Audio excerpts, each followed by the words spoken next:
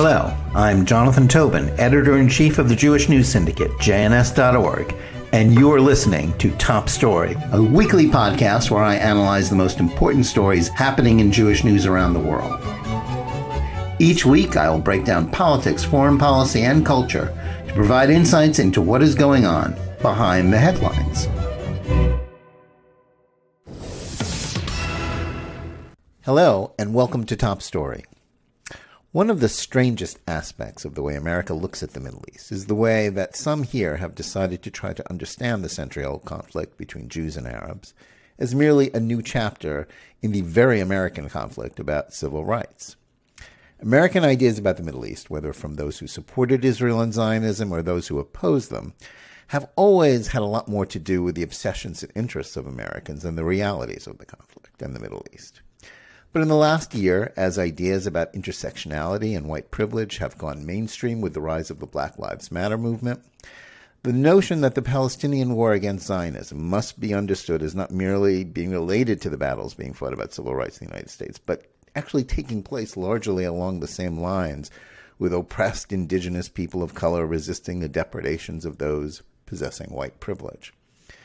By this intellectual magic act, Israeli Jews were transformed from being the scattered remnants of a Jewish people that had suffered 20 centuries of persecution brought back to their ancestral home, where they struggled to survive against the hatred of the Arab and Islamic worlds, into a white colonial elite, practicing their own brand of apartheid. And in doing so, Israel's critics were able to depict the latest fighting with Hamas in May as a mythic story in which terrorists shooting rockets into Israeli towns and cities were transformed into the iteration, into the uh, embodiment of George Floyd, and Israelis as a nation of Derek Chauvins pressing their knees down on the neck of an oppressed people. That's the only way to understand why the May conflict resulted in not only a torrent of opprobrium directed at Israel, but a justification for a rising global tide of anti Semitism that, for the first time in living memory, resulted in attacks on Jews in the streets of American cities and not just on those of European capitals. How do we account for this disturbing trend and its acceptance not only by Western intellectual elites, but also many Jews who have embraced these formulations and often the anti Zionist cause itself? With us this week to discuss these and other questions is one of the more astute observers of the Jewish scene, author and journalist Liel Leibovitz. Leibovitz is an editor at large at Tablet Magazine and the co host of its podcast Unorthodox. He's the author of several books, included, including spiritual biographies of Leonard Cohen and Stan Lee. A veteran of the Israel Defense Forces, he now lives in Manhattan with his wife and children. Okay, Liel, uh, you recently wrote in Commentary Magazine about the classification of Jews as whites and the implications of that. How did this weird transposition of Jews come about, do you think? You know, first of all, I think the, the, the, key point to remember is precisely the word that you just used, which is which is the more just, as we say in Yiddish.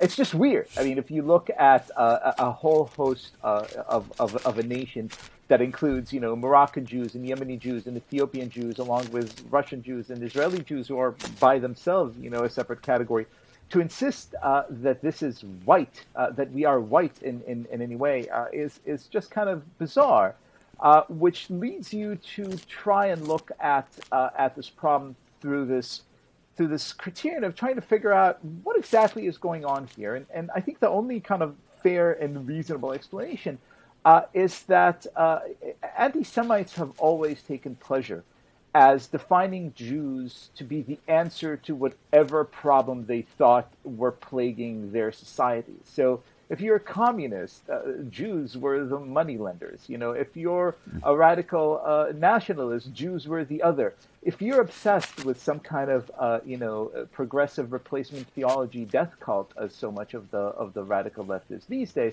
then obviously Jews are the one thing that is uh, construed as most sinful and most horrible, which is the quote unquote uh, white people, uh, which in of itself is the preposterous category created mainly by you know German kooks in the late 19th century, interested in all kinds of ideology that you know thankfully the rest of us sane humans have have long uh, abandoned. Yeah, I mean that sort of race was that race was the obsession of intellectuals a century or more ago. Correct. Um, even even respectable, nice people thought in terms of race. Um, people we even honor. I mean, people like Churchill even sometimes spoke about races a lot. Um, we supposedly got beyond that, but now we're right back in it, and indeed, it's now the sine qua non. It's it's it's the total way to define everything, and certainly as critical race theory intersectionality has gone mainstream, that seems to to be you know it, it seems the natural step. Okay, now where do where what do we call Jews that we fit them in there? Well, thankfully, we have a much better answer, uh, and we always had, and and our answer, uh, you know, gracefully informed uh, everything uh, from the creation of this nation up until, historically speaking, five minutes ago. You know, uh, my, my dear friend Rabbi Dr. Ari Lamm likes to say that the Hebrew Bible is every bit America's founding moral document, as the Constitution is our founding political document. Uh, and the Hebrew Bible gives us a very clear understanding of how to look at all these issues, uh, especially you know uh, racial inequality, which is why when you listen to every single American uh, who had fought the good fight on this issue of race, from Frederick Douglass and Sojourner Truth to uh, Abraham Lincoln, Martin Luther King, etc., they all spoke in words that, that make no sense uh, and, and are not uh, understandable unless you are firmly rooted in the tradition of the Hebrew Bible. And Martin Luther King said, You know, I have been to the mountaintop. Which mountaintop do you think he's talking about? And, and where is he taking that language? Now, the problem uh, began when uh, a, a, a, radical new tradition, a competing tradition, a non American and indeed anti American tradition came along and said, no, these concepts are flawed. We're going to replace them with something very different, something predicated on power, something predicated on, on this kind of uh, inversion of, of the pyramid of the relationship between uh, races, real and imagined, on uh, quasi scientific and, and academic notions this would have been uh, an atrocity that, that would have been unrecognizable to people like Frederick Douglass or Martin Luther King. And it's uh, their tradition, which is indeed our tradition, that we need to defend. Yeah, I think that goes quite to the heart of all these battles about the New York Times and its 1619 project and critical race theory, which is now, you know, a, a, a battle line, you know, that's, it's a battlefront in school boards and editorial boards um, you know, who's America? Whose vision of America do we embrace? And um, it seems as if, certainly since last summer and the moral panic about race that seemed to sweep over the country, at least in terms of the chattering classes, after the death of George George Floyd. Um, it seems that we we there's a necessity to throw everything out. It's not just toppling the statues of Confederates, which is you know certainly defensible. It's it's everything. It's questioning everything about American history, the anthem, the flag, the you name it. Um, and on the one hand, people think, well, it's just old bad stuff, but it really has an impact on how we view not only ourselves and our basic ideas about liberty, but also it, it impacts the Jews, doesn't it? I think it impacts the Jews uh, you know, widely and widely. Uh, I, I, take only the, the most minor uh, issue with, with the way you, you phrase the question. I don't think it's whose version of America is going to emerge triumphant.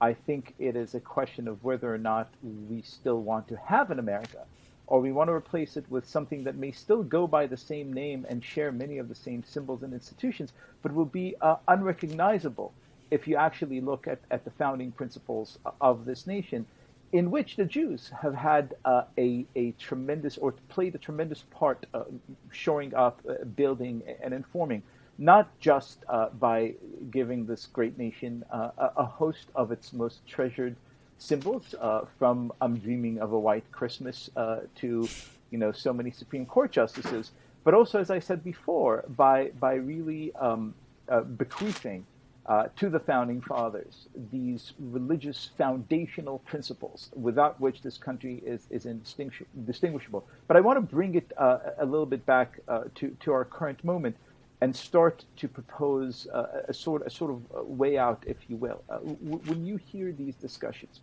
uh, these these gripes, forget the uh, proven historical falsities perpetrated by Nicole Hannah-Jones and the 1619 Project, which by now have been debunked as you know absolute nonsense.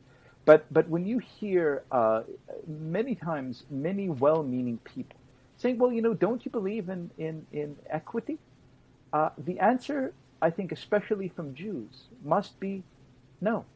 I do not believe mm. in equity.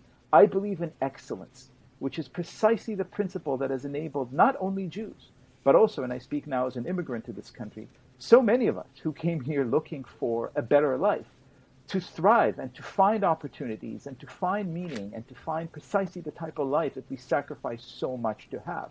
It is, again, foundational to what America is, and it's foundational to what it must remain if it is to remain America. Well, that's a very important perspective that you're bringing to it because, as someone who came to this country and um, seemingly has a has a greater appreciation of sort of the virtues of uh, you know life, liberty, you know, in the pursuit of happiness. You know, a, a, happiness that you're supposed to go out and chase yourself rather than just handed to you, and the idea of equality of opportunity, not equity, and and equality of of, of outcome. Um, the truth is, the vast majority of American Jews are now the grandparent, you know, the grandchildren or the great grandchildren or the great great grandchildren of, of of most of the immigrants who came to this country and you know, from from Eastern Europe. That, that, that's the biggest number of of immigrants who came in the late nineteenth and late nineteenth and early twentieth century, and really do think of themselves as you know the old Milton Himmelfarb uh, line about Jews, um, you know, living like Episcopalians and voting like Puerto Ricans. Um, that doesn't even have any, you know, that, that quip doesn't even have any resonance for them because number one, they don't even know who the Episcopalians are. Uh, the wasps have, you know, pretty much been, the wasps aren't the wasps anymore. And, you know, it's, they do see themselves. I mean, getting back to my first question to you about how do Jews become whites, a lot of Jews see themselves in that way. They, they because, you know, either they have lost any sense of their own sense of Jewish peoplehood, um, as being coming from someplace else or having a separate identity, but see themselves as privileged people and feel impelled by what they see as you know as Jewish tradition of social justice to embrace anything that helps, you know, what they see as the underdog, uh, and, and, that's how they get into it. So they're willing to do it. They're willing to go along with it. Gosh, Jonathan. But clearly, you have a different perspective. I mean, gosh, you know, if only there was some kind of historical example of what happened when Jews stopped seeing themselves as Jews and began viewing themselves as cosmopolitans committed to some world order that always ends up well, right? We always convince others that we're truly righteous and, and wonderful, and no historical consequence ever befalls us, right? Yeah, it's it's kind of like the story of George Soros' father, who was a champion of Esperanto, um, you know, the, the, universal language, and it's like, no, we're not really Jews anymore. But you know, then the next thing they do, they're they're hiding from the Nazis in in, in Budapest. But uh, and then miraculously, yeah, I, I, returning right to the idea that if only the entire world was this nice little oyster, every and if only we Jews sort of championed this this sense of you know universalism, then, then all would be right for the world, and, and the Mashiach would come, uh, and anti-Semitism mm-hmm. would perish. Uh, if it wasn't actually hurting real live Jews, and and usually not the ones who espouse these these silly ideas, it would be comical. Yeah, but of course that's the whole point. The reason why it became, you know, the the the fighting between Israel and Hamas became such a focal point is that the you know the the whole advance of the BLM movement and critical race has kind of transformed some of the discussion about Israel in ways that I think even some of us who've been following this didn't realize it. If you go back to 2014, the last big flare up, um, which was a much more, you know, many more casualties and in, in many ways a very difficult uh, story to follow. Um, this time the, the opprobrium was much higher. The invective was, was worse. There were more people, more prominent people, more people in public life, celebrities as well as members of uh, of Congress willing to denounce Israel in terms that relate to this whole critical race, you know, way of looking at the world, and to demonize it in ways that I think a lot of us, a lot, it took a lot of liberals by by surprise. Well, let me let me say something uh, that that that may surprise you. I'm glad. I'm genuinely glad that this happened uh, because I, I hope uh, sincerely that this uh, would would help uh, many of us who have been living under uh, the false uh, assumption that if only you explain your position correctly about Israel, everyone will see, if not the rightness of our ways, at the very least the complexity of the conflict. Enough with all that. If Zionism has taught us one thing and one thing only, is that we thrive uh, precisely when when we understand the very simple and very painful um, notion that there are uh, very real enemies out there in the world who wish us harm, and that therefore, rather than uh, beg for their sympathy and understanding, we ought to go about our own way, defending ourselves and serving our own interests. When we do this, we thrive, we grow strong, uh, and we grow prosperous. When we don't, we perish because none of these coalitions with our so called friends uh, have ever lasted very long. So let all those who have spent years sort of, you know, dancing uh, on, on, on the pin of a needle, kind of saying, like, well, you know, I support Israel. It's the occupation, uh, whatever that is, that I oppose. Or you can be anti Zionist, but not anti Semitic, as if opposing to the existence of the world's sole Jewish state is somehow not a blatant anti Semitic act. Let all these people uh, lay down their presumptions and, and, their, and their false narratives, let them come out as exactly what they are, and, and let the Jews, sadly, finally, uh, urgently, pick sides. Uh, it's us and them. It sounds very stark, and I say this not with an, not with an ounce of uh, jubilation. Uh, I wish uh, we were living in a reality that left plenty of room for, for nuance and complexity. however, we're not. And therefore, I think this is a tremendously clarifying moment. And the solution is, as it has always been, uh, do for yourself, stand with your people, protect the Jews, uh, and as as we have since the beginning of recorded history, uh, will triumph. I, I, think that's a, that's an important point, and I think you, you point out in a, a recent uh, piece in, in Tablet that it really does come down to Zionism versus anti-Zionism. Um, that that's the only, and, and I think that's clearly true. I think you know it's not about territories, it's not about settlements. It's is there you know do do you support the existence of a Jewish state or don't you? But of course, one of the interesting things about American Jewry in 2021 is that an increasingly large number of Jews. Um, I think we tend to try to poo-poo it because it doesn't sound nice. It makes us unhappy are actually coming down on the side of the anti-Zionists, and it's not just you know members of groups like If Not Now and Jewish Voices for Peace who are anti-Zionist and at times you know in, enabling anti-Semitic tropes, but there is a broad um, you know there's a much broader you know constituency within American Jewry that is kind of drifting away from you know even lip service toward towards Zionism and I might suggest that that might be more, you know, be more in keeping with the history of, of the American Jewish community, which was, you know, originally not terribly Zionist un, until 1940. Well, I, I want to um, I, look. Even though I'm no longer an academic, uh, I've been in academia long enough to, to still, you know, maintain some of the virus in my blood. So let me let me use uh, an academic language and say that, that I want to complicate your question. Right? Academics always have to complicate things, never never solve any real problems for any real people.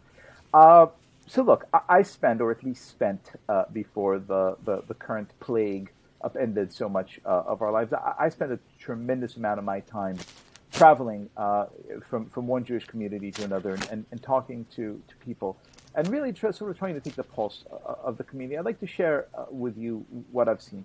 Uh, undoubtedly, there is a sizable minority uh, of people, and, and sadly, if, if I had to characterize them, I would say the majority of them are younger, the majority of them are, uh, shall we say, overly educated.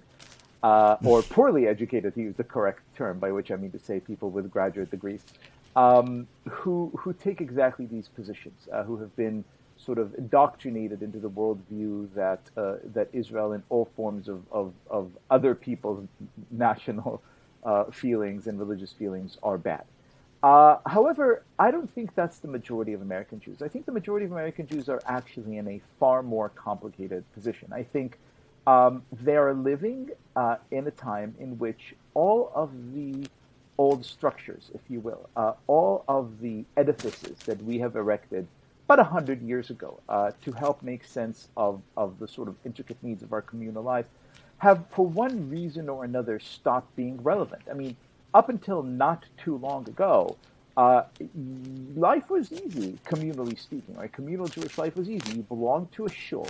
You uh, supported the Federation in its annual campaign. Uh, you gave money to Hadassah, the ADL, both, and a host of other organizations, and they in turn sort of did a lot of the work for you. So you could just nominally say, "Yes, I'm Jewish, and I'm part of this, and I'm contributing, and this is this is my life."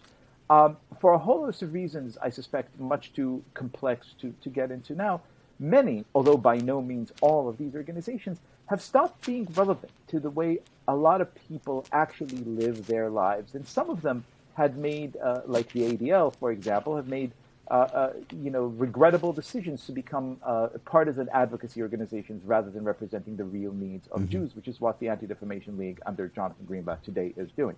Uh, but that leaves a vast swath of American Jews sort of confused because these are these are you know dentists and lawyers and teachers uh, and, and and accountants. These are not people who uh, saw their job as ever being you know politics or community building or, or anything kind of you know uh, in, intricate uh, and time consuming such as this.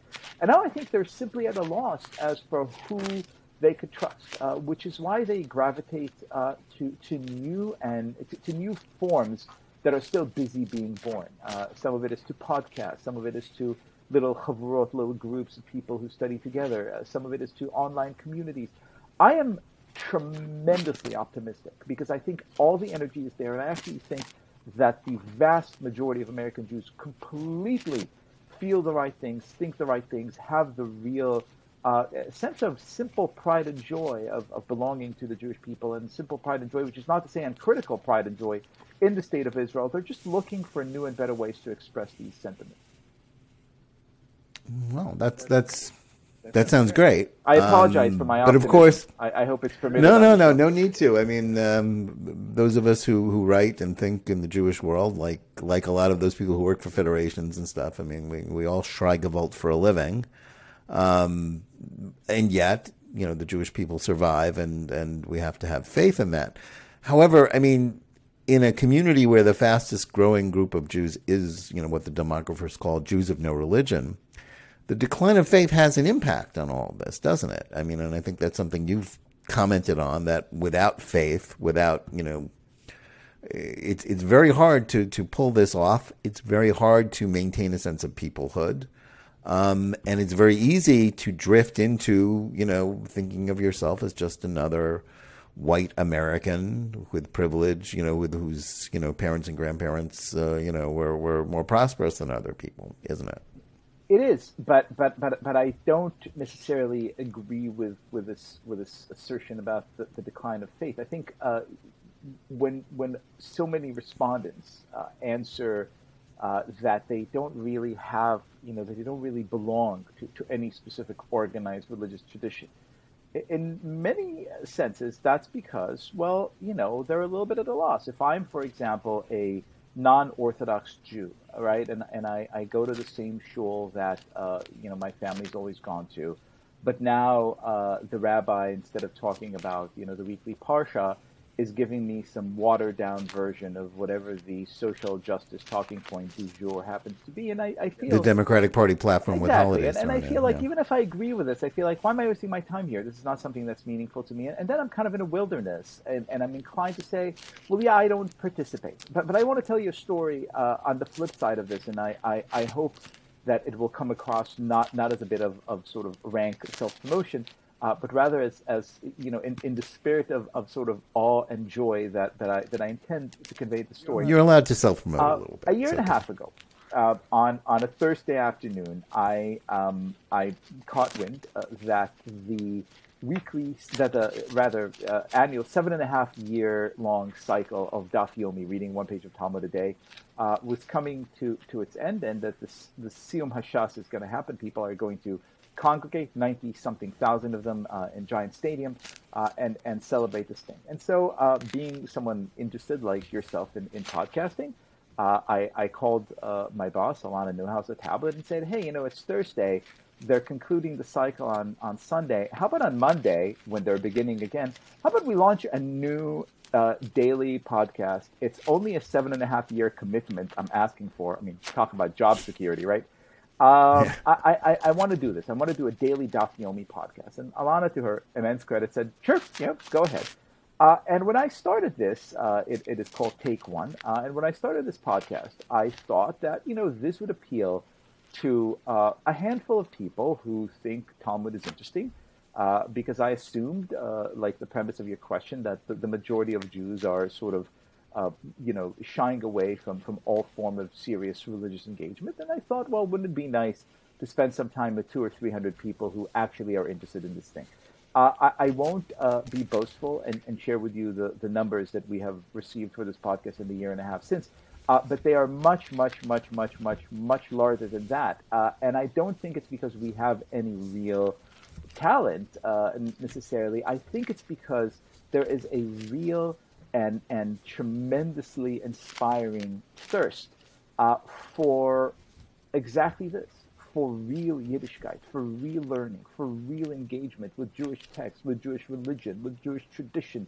People really want to connect. They may not do it in, in, in yay olden ways. They may not do it in the pews of congregation Ahavat Achim or whatever it is, right, where their family mm-hmm. used to go. They may do it in a podcast. They may do it in, in, a, in a little group like another example I would give a couple weeks ago, it's 3.30 on a Friday afternoon. I get a text from my friend Max, who is, you know, a, a high-powered law professor at NYU, not exactly where you would expect to find Talmudic scholars, saying to me, we are starting a new group every Friday afternoon. A few of us, non-religious, quote-unquote Jews, we're getting together, we're studying Mishnah. You're in? We're doing it over Zoom. This is so incredible, and it, it's. I think these are things that would you know you would not have seen or heard even seven or, or ten years ago, and they're an indication that those quote unquote Jews without religion are very much Jews with the, the old timey Jewish religion. They're just finding brand new, exciting ways to plug into it you know, I think that's an important point about that. You know, Jewish life has a way of you know popping back when we least expect it, um, and the Jewish people are more resilient than we expect. Um, but one of the interesting things is right now, you know, there's been much more emphasis on anti-Semitism, and certainly what happened in the last couple of months has focused people on that. But it seems as if, and and I think again, you you you bring this kind of outsider's you know perspective on it. It seems to me that most American Jews are still much more interested in fighting sort of the partisan, you know, tribal culture wars of Republicans and Democrats, Trump and anti-Trump, than focusing on sort of a broad uh, agenda of uh, combating anti-Semitism. We saw so-called Unity rally a couple of weeks ago in Washington, which, you know, despite the best you know noble intentions seemed to be something of a flop. Um, you know, there, there, there, there seems to be stronger uh, pulls on American Jewish loyalties than um, fear of anti-Semitism or even concern about it. Do, do you agree with oh, that? Oh, I agree wholeheartedly. Uh, again, I, I, don't think this is necessarily a, a new phenomenon. You, you, need only to look at mm-hmm. uh, Stalin's Yidsektia, right, Yevsektsia, to, to know that the attempt to sort of uh, recruit court Jews as as a sort of you know a, a front to whatever political or partisan uh, cause you, you wanted to promote is is, is hardly new. Uh, I think it is it is extremely important uh, not only to to avoid these pratfalls, uh, by which I don't mean to say that we should remain uh, completely sort of neutral or bipartisan. I think very frequently especially sadly recently, uh, you know, events uh, call for for Jews to take you know clear stances uh, in favor or against uh, this political party or or that. Uh, but I think that the focus ought to be not just fighting anti-Semitism, which which honestly, you know, for for all of its uh, menace, uh, I, I, think is still a a, a secondary concern. I, I, think the concern should really be, and, and, apologies for sounding, you know, somewhat more bearded uh, than I actually am in real life here. But the concern should be about uh, keeping alive those Jewish values that have kept us alive since the beginning of time. Uh, as far as I'm concerned, the energy should go to studying Torah. The energy should go to, to engaging in Jewish texts. They should go into engaging in mitzvot, in Jewish life. Um, do that, and all the other problems sort of fall by the wayside. Again, this is this is not just a, a kind of spiritual calling. If, if you sort of study history closely, uh, you would see that it has a very strange way of, of, of, correlating with, with the welfare of the Jewish people. When we are focused on the right things, we thrive when we're focused on, on, on the on, on worldly narishkeit, uh, we stumble and fall.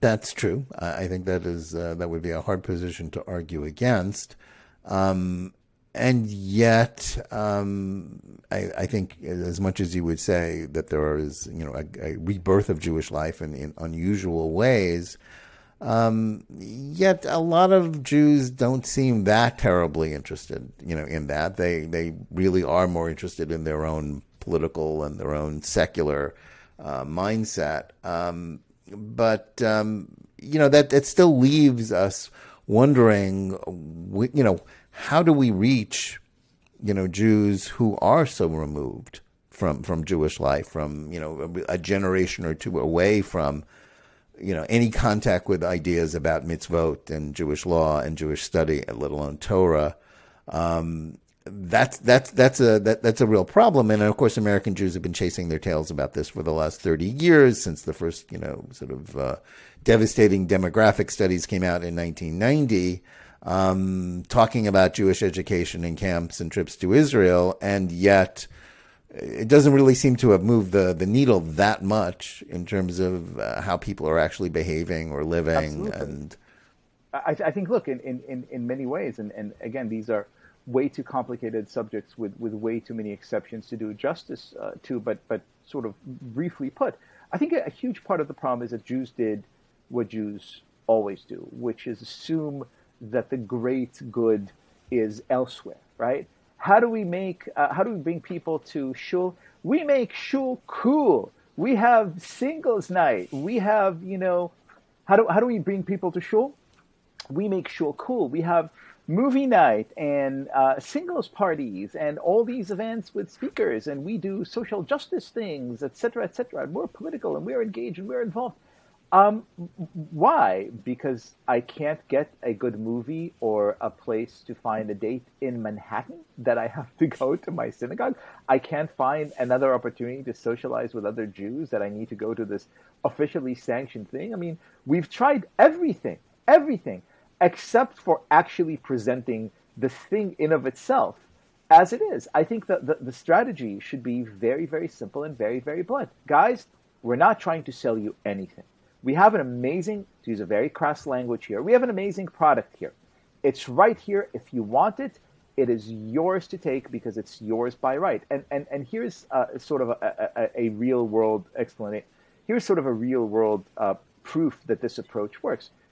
Look at what Hillel is doing on campuses, and look at what Chabad is doing on campuses. You know, Chabad is by far, by far the ascending force on campuses, even though Hillel has all these mighty budgets and traditions and structures and organizations. That's because Hillel, again, with many exceptions, too often uh, the Hillel houses are, the Hillel chapters too often are busy sort of like playing all these like games of like, oh, we need to live in a campus and do politics and, and team up with these people and those people and what, what, what happens if we say this or say that. And it just becomes this kind of intricate, exhausting, tiring thing Whereas you come to a Chabad house on campus, they say, you know what, you know what we want? We want for you to have a l'chaim and have a nice Shabbos meal. That's it. You're interested? Okay, well, there's, you know, Shacharis tomorrow morning. You could come and pray with us. But we're not trying to sell you anything. We're just here to show you how joyous we are with this amazing heritage that we have. And if you want part on this uh, of this thing, we're happy to have you. Crudely, uh, uh, simply put, you know, this is the principle that, that was best um, articulated by, by my great rabbi and teacher, Ruth Wisse, uh, someone uh, who I look up to every hour of every day. And she basically said, As do I. The, the problem is that too often Jews act like, you know, the cool kids are sitting at, at you know, two tables over. We need to start acting like the table where we're sitting, that's the cool kids table. The party is right here. And by the way, it's a very inclusive party and everyone's welcome. And if you don't want to come to it, that's fine. We're not here to waste millions of dollars try and get you to come to our cool party because that's not what cool parties are about. We're here. We're super proud. We're super joyous. This is the absolute best place to be. We'd ra- there's no other place we'd rather be. Not at Columbia University or Yale, and not at the New York Times, and not at the White House. We want to be right here, studying together with our friend, eating cholent and drinking vodka. And if you want to come in with us, we are so so happy to have you. And if you don't, that's fine too. That's the attitude that I still await some major organization that isn't Chabad to take. And as Chabad shows us, as soon as you do this, you just start winning. Mm, very true. Liel, you, have kind of um, gone on a journey of your own um, as a writer, um, um, as a thinker. You, you right now seem to to um, articulate views that seem very mainstream, very pragmatic, very much in tune with sort of what seems to be like a, a, consensus in Israel about about politics or about you know these sort of existential questions about peace processes. Uh, how did you where, where, how did you come? You know, you're you're you're an Israeli. You come to the United States.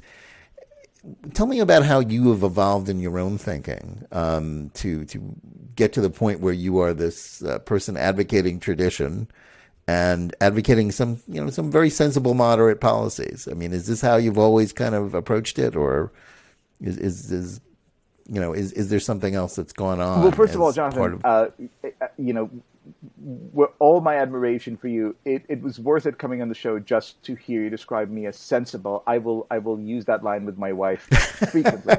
uh, my journey is is you know I think simultaneously kind of you know strange and at the same time almost banal. Uh, I was born in Israel, the the scion of a, of a of a large uh, sort of you know respectable rabbinic family. Uh, grew up secular, or as I used to like and say it, a few cheeseburgers removed from the faith of my fathers. Uh, because while I always had faith uh, and and a tremendous sense of pride, I always thought that you know being Jewish is, is almost an abstraction. Uh, because I had one one leg uh, firmly planted in the Jewish world and the other in Western culture and civilization. And I thought that, you know, uh, since I was already a member of the Jewish club, I didn't have to do too much. I didn't have to observe or even know too much. Uh, it was time to cultivate uh, the, the, the space which was truly exciting, truly filled with opportunities and possibilities, which was, you know, the Western world. Uh, and so, like like all uh, kind of good, ambitious young Jewish boys, I, I, I found my way to uh, the best university that would that would admit me, Columbia University. I, um, being a, a, full believer in in, in justice uh, and and everything good and nice, uh, I, I dabbled in left wing politics because at the time they seemed extremely sensible to me. Uh, these were the early days of Oslo, I thought that it was, you know, not a bad thing uh, to give to give these accords with all the painful concessions uh, that they required uh, a fair chance because hey, you know, maybe the other side could could do teshuva and change and and we could have uh, some something akin to coexistence or at the very least the absence of bloodshed like like we've had with Egypt. Uh, so supported that and, and, and chafed a little bit uh, when when when people who I deemed as unreasonable and irrational, uh, warned, uh, as it turned out, completely frightfully, uh, that that this is not going to end uh, very well. Uh, I got my PhD. I, I was surrounded uh, at, at, all times by by people who taught what I now realize was was a, a very narrow dogma uh, of, of, of, hardened uh, progressive uh, ideology, although again, it wasn't back then about 20 years ago or 15 years ago or so uh, it was not nearly as, as sort of uh, ossified and, and, and vile uh, as, as it is today.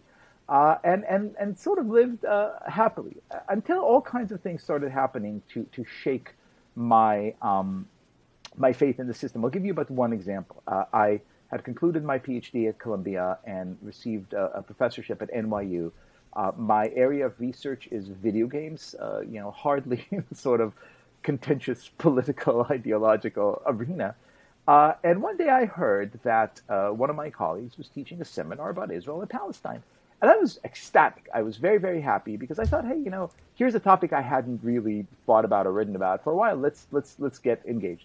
Uh, and I wrote her a note and said, hey, you know, hey, I'm this good Israeli leftist, uh, serving the IDF, very proud of Israel, uh, very critical of many of the government steps, uh, but I'm really happy that you're having the seminar. I'd like to partake. And I get an email that says tersely, I'm really sorry, this is a closed seminar. I sort of, you know, cocked my head a little bit and, and, and looked at the screen scans and said, like, I'm sorry, I don't understand. I thought the whole purpose of what we're doing here, literally the whole reason we have this institution, is to have free and unfettered exchange of ideas about, especially if, if I happen to know something, or as you guys uh, in the left so so much enjoy saying, if I have actually lived in experience that makes my contribution, you know, if if nothing else, at least valid. Uh, and uh, regardless, I was completely barred and made to understand that if I were to remain true to these to these values of mine, uh, which are you know love for uh, the state of Israel and, and, and belief in its uh, absolute uh, uncontested right to to exist, I was not welcome at the party, and and this really shook me. It, it shouldn't have. I should have been less blithe, I could I could write it off to young age, or I could write it off to you know excessive idealism. But it really sort of rocked me, uh, and and once you sort of see that, you can't unsee it. And, and, I started taking a cold hard look at at the at the academic environment around me, and discovered an arena that was not committed uh, to to inquiry, that was not committed to debate, that was committed to indoctrination, um, that was committed to uh, the sort of narrow-minded zealotry uh, that you associate with the most benighted uh, eras in, in, human history. Uh, and, and that started a, a, state or a process of, of, of awakening, and, and its apotheosis, if you will, was, was the sad understanding that, that many of these institutions, um, in which I believed so heartily, uh, in, in whose, of, of which I wanted to be a part so badly, we're doomed uh, because um, American academia it's not coming back uh, from from the brink. Uh, tenure and money and other considerations have have guaranteed its fall into the abyss of you know ideological lunacy. Uh, and when that happens, you you first of all panic, and second of all start asking yourself, okay, what has always been true? what has always been solid? What has always been an essential part of you? And the answer, the only answer that I could come up with was, well, Judaism, our tradition, who we are. Uh, and, and with that, I started to learn more and understand, as I think you can only truly understand, especially as an outsider, when you come to it at the right moment in your life, that it's not enough to just, you know, uh, be Jewish you have to do Jewish. Uh, there's a reason we call it practicing Jew, right? Because no one ever perfects it. You have to keep on actually understanding through experience. Uh, and once I started uh, succumbing joyfully to, to, this logic and really living this life, uh, I found so much depth and so much peace and so much meaning. Uh, and ever since, the only thing that I want to do is is is basically uh, help anyone else who may be on the similar journey. Oh, that's that's that's a that's an important testimony there. Um, you've written a number of books, including studies of two fascinating and very different diaspora Jews, Leonard Cohen and, and Stan Lee, artists each in their own way. Um, what can you tell us, sort of on one foot, about the lives of these two very different men? Um, what does that teach us about the Jewish experience and the Jewish impact on American popular culture? And how did your own experience as an immigrant uh, from Israel impact your understanding of them and American Jews in general? Well, first of all, I think the thing that unites both of them is that they would both very much hate being called diaspora Jews.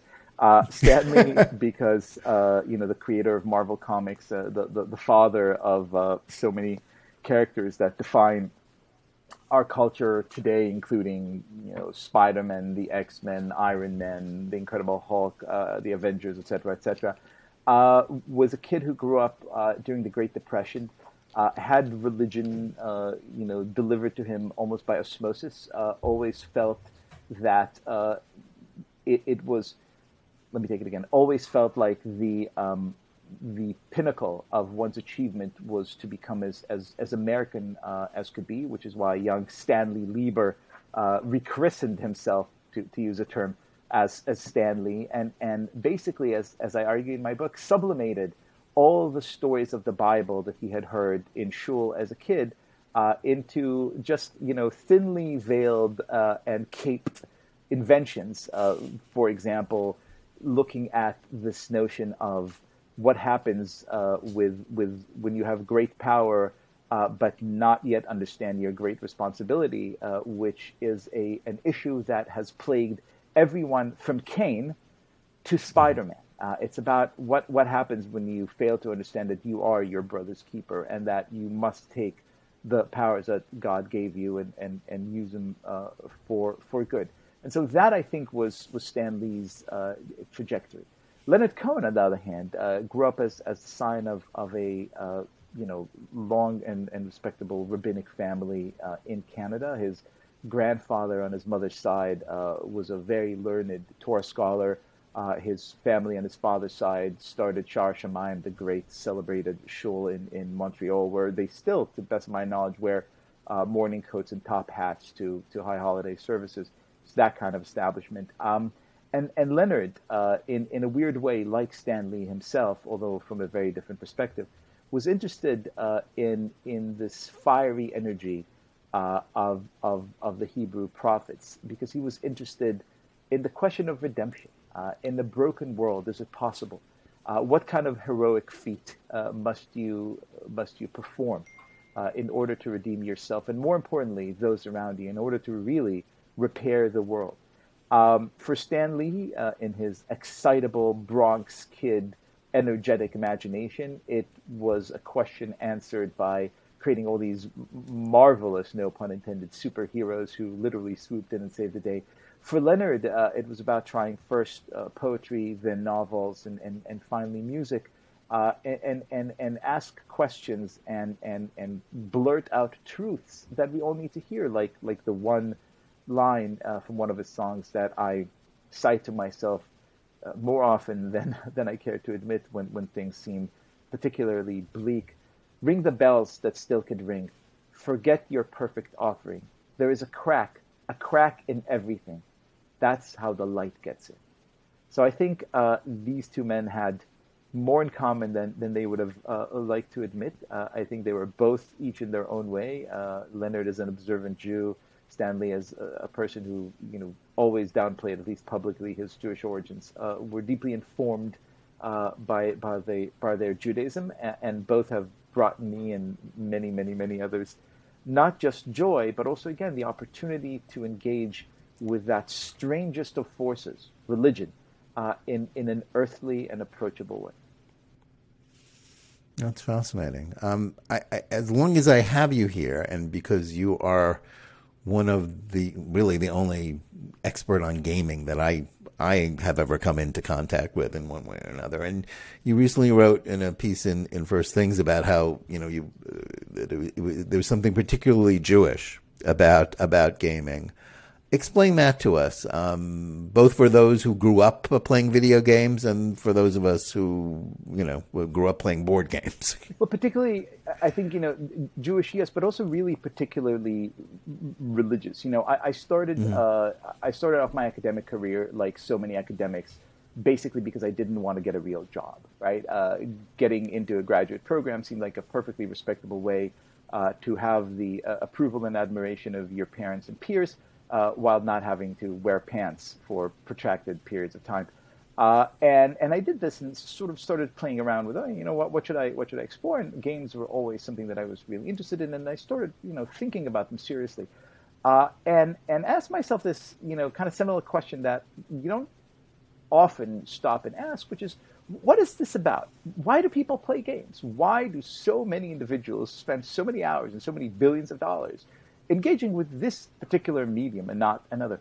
And and the sort of uh, answer that that I sort of slowly got to is because games really have much more in common with religious rites and rituals than they do with anything else. When you play a game, you're not engaged in a subjective analytical experience like you are when you're watching TV. You're not sitting on the couch and you know consuming some kind of content and then analyzing it, deciding if you like this person or don't like this person, agree with this point of view, reading it as a straightforward, you know, read or, or trying to kind of subvert it in some way and all this great big cultural uh, analysis that, that academics love to perform.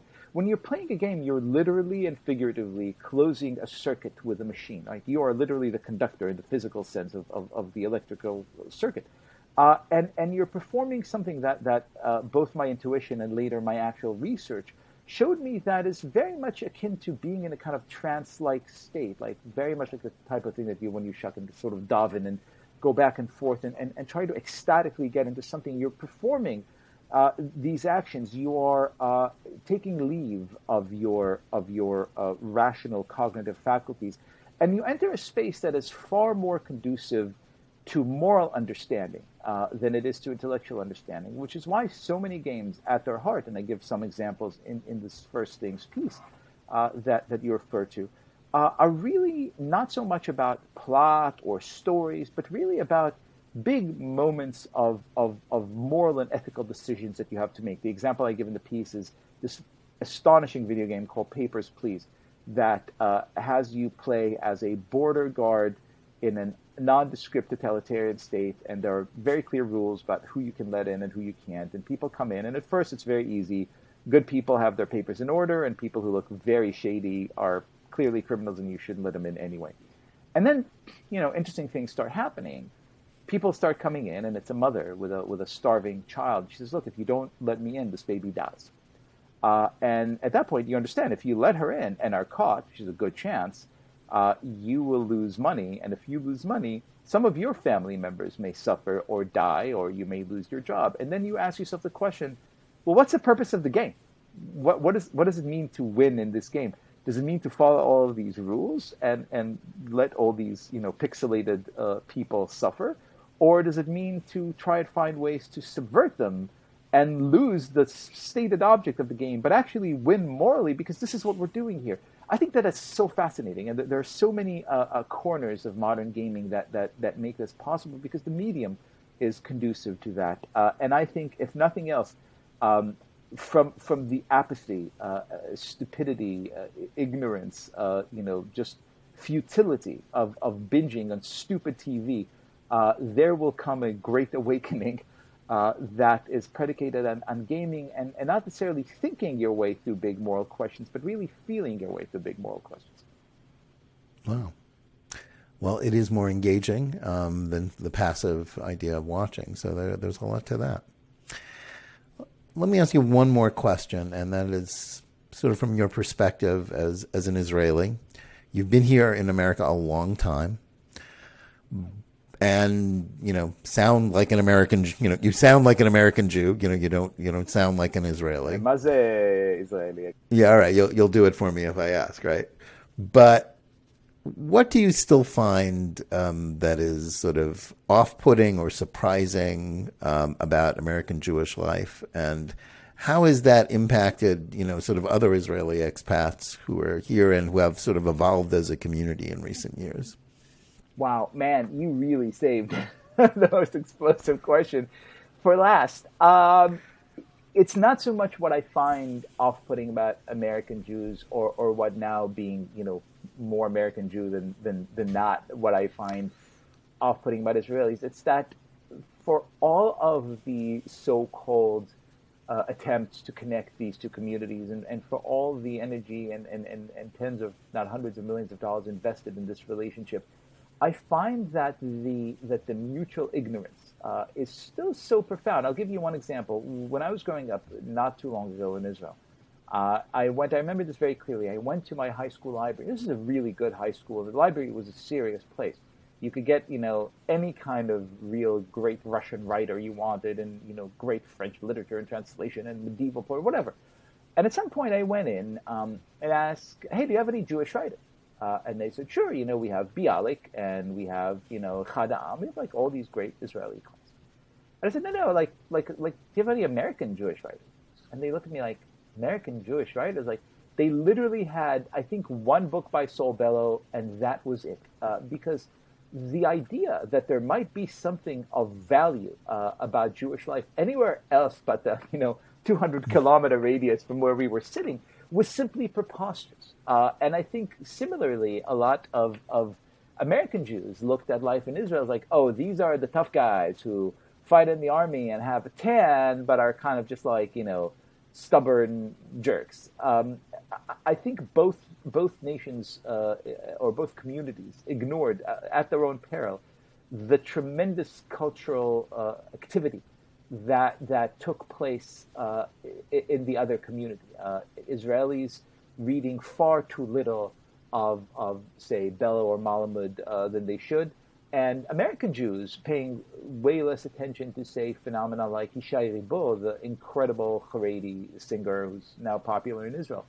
Uh, I think the key uh, to, to this relationship uh, is, is to really make sure that, that we get to know each other not as, uh, as an abstraction, not as a political entity with, with sort of competing goals, but, but on the basis of our shared tradition – that we both exert a lot of energy and a lot of time, and a lot of effort trying to, to interpret and, and understand and, and grapple with. That's still kind of not happening. Uh, it's happening a little bit more now that you know Israelis uh, export their, their television creations to the world, and Americans can sit and watch shows like Shtisel and feel you know kind of a little bit uh, clued into to what goes on in Israel. So again, I'm I'm, I'm cautiously optimistic. But I think this this uh, this this detente, if you will, this glasnost uh, between Israelis and American Jews is still a very very very long way coming. And in a weird way, I mean, mm. I, I feel myself to to to sort of very often be the embodiment of of both these communities. I feel. Uh, always a little bit uh, a little bit too American whenever I'm in Israel or with Israelis, and a little bit too Israeli whenever I'm with American Jews.